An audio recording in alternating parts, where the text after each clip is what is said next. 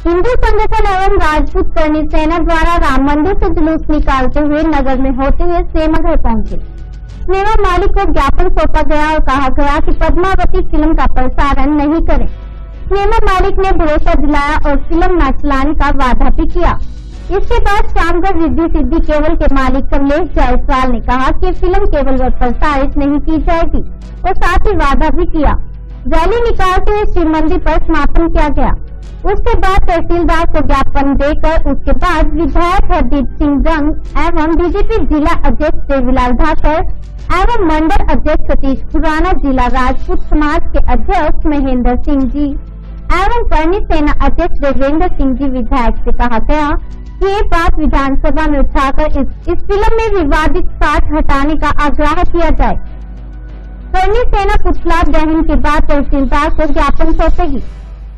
सारी जवाबदारी मैं लेता हूँ श्री राष्ट्रीय राजपूत संघ सेना तहसील उपाध्यक्ष धीरज सिंह सिसोदिया अजीत बाला चुनावाली आपने अभी शासन को क्या अवगत कराया? किस बात की जानकारी और क्या बात का है? कि मतलब जो एक दिसंबर को जो रिलीज़ हो रही है वो रिलीज़ ना होए और प्रदर्शन नहीं किए जाए।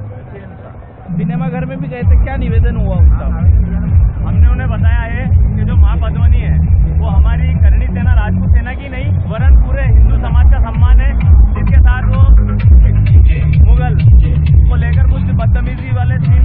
कर रहा है जो हमसे बर्दाश्त नहीं हो रहे। तो इसलिए हमने उनसे निवेदन किया है कि ये जो अभी ज्ञापन है अगर इसके बावजूद भी आप चलाते हो तो उसकी जो भी क्षति हो रही है उसका जिम्मेदार वो स्वयं होंगे। और हमारी तरफ़ से ये रहेगा कि जितना ज़्यादा नुकसान हो जाए वो सारा उसी का होगा। जिला राजपूत समाज एवं समस्त हिंदू संगठनों द्वारा सिनेमाघरों तहसीलदार महोदय देवीलाल जी धाकर साहब, जो जिलाध्यक्ष विधायक श्री को ज्ञापन दिया गया।